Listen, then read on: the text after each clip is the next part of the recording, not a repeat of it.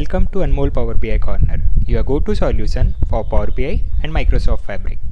In this video, we will see how you can switch between import and direct query mode using TMDL view in Power BI. Before coming to the video, my name is Anmol Malviya and currently I am working as a senior data analyst at Eden Analytics. I've also been recognized as a Microsoft Community Super User and if you are looking to learn about the new Microsoft features, the new updates, then you can subscribe the channel for more amazing video.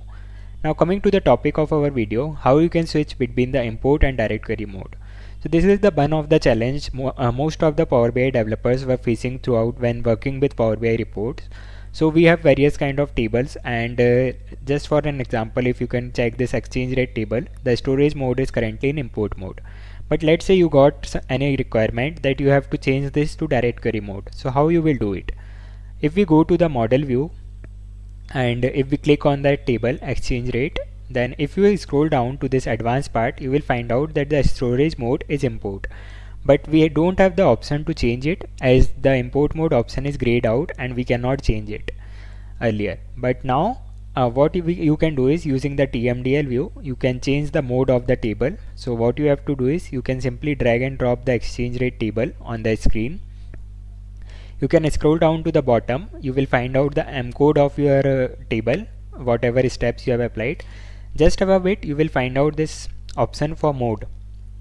So right now you can see the mode is import. So what you have to do is you just have to clear the import and you can write the mode you want.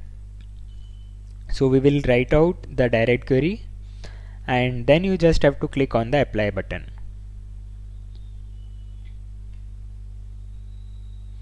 You can see the changes have been applied to the model and now if we che uh, check the mode of the exchange rate then you can find out the storage mode is direct query.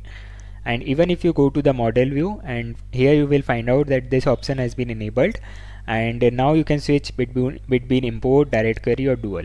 In the same way you, we have other options for direct lake also. So in, in place of direct query you can use the direct lake here in the TMDL view itself or you can use the dual mode and again you have to click on the apply button and in this way you can change the mode of your semantic model